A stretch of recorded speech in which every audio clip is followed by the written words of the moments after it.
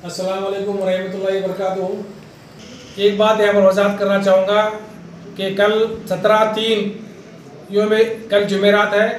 जुमेरात की, कल के जुमेरात सत्रह तीन को 2022 को सुबह सात बजे से लेकर शाम के छः बजे तक बंद रहेगा। कल सत्रह तारीख, जुमेरात पूरा बंद रहे। आज शहर बेलू से इमारत शरिया और कई तंजमें सब मिलकर एक ऐलान किया है कि रियासत कर्नाटक में एक दिन के मुकम्मल पुरअमन बंद का ऐलान।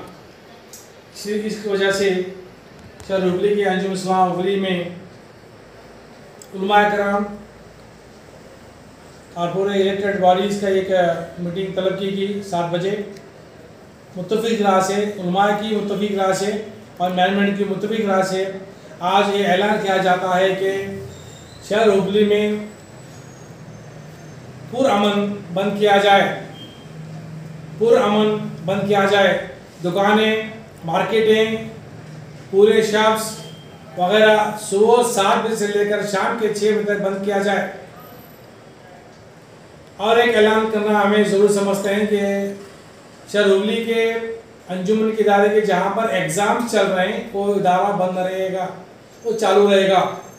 जो इदारे कल बंद रहेंगे अंजुमन के वो संडे या किसी एक दिन उस उस बंद को इस्तेमाल करके आपको ताल, तलबा तालिबात को क्लासेस लेना होगा क्लास चलेंगे।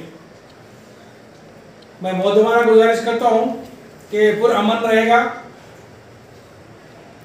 ताजिर मजदूर तलबा तालिबात हर तबका शिरकत फरमा कर बंद का, बंद को अमल में लाएँ और रोड पर आकर ज़बरदस्ती किसी को बंद करने की कोशिश नहीं करेंगे।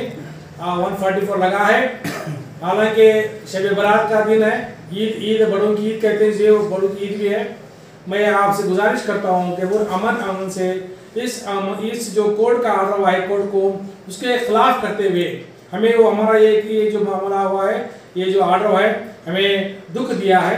हम पुरअमन शहर कर्नाटक, पूरे कर्नाटक में जो बंद का ऐलान किया गया, हमें उनको सपोर्ट के रहते हुए आज अंजुम इस्लाम ये ऐलान करती है कि पुरअमन पूरे शहर हुबली में बंद रहेगा बंद रहेगा बंद रहेगा।